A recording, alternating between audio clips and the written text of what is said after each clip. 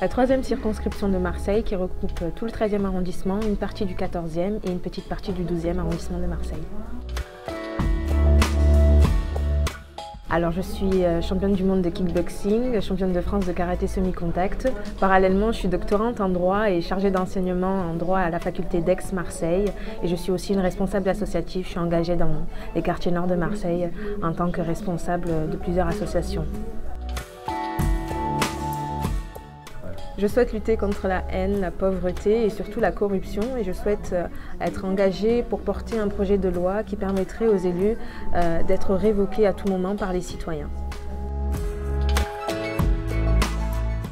Face à la haine, à la corruption, aux accords de parti, je souhaite être la candidate de la transition écologique, de la paix, du travail, de la justice sociale. Donc je vous conseille, peuple de France, de reprendre le pouvoir, de vous engager pour votre planète, pour votre pays, pour vos enfants. Donc allez voter et votez Sarah Soulier.